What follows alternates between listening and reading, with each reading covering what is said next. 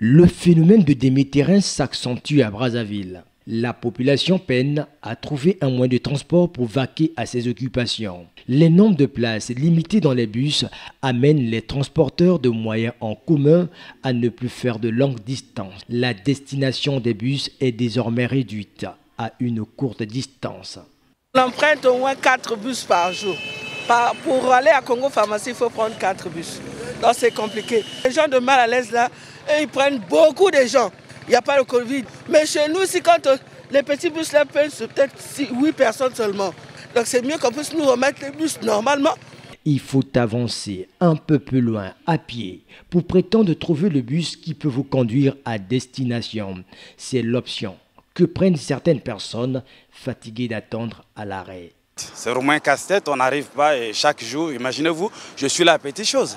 Alors, de petites choses, l'hôpital à Talangaï. Petites choses, l'hôpital à Talangaï, l'hôpital à Talangaï, tu arrives là à Mampassi, donc c'est trop de demi-terrain, donc on n'arrive pas. La situation est pareille à l'arrêt de bus de Mikalou sur l'avenue de Latiémé, où les transporteurs ont refusé de se prêter à notre micro.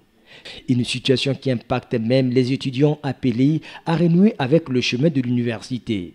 C'est le cas de ce nouveau bachelier qui vient de la commune de Diri.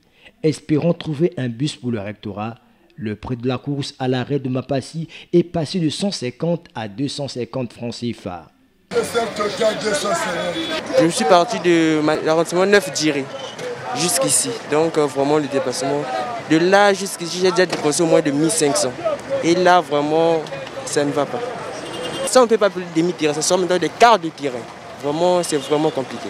À cette allure, si des mesures ne sont pas prises, il sera difficile pour les élèves appelés à répondre avec le chemin de l'école dès ce 12 octobre de se mouvoir facilement.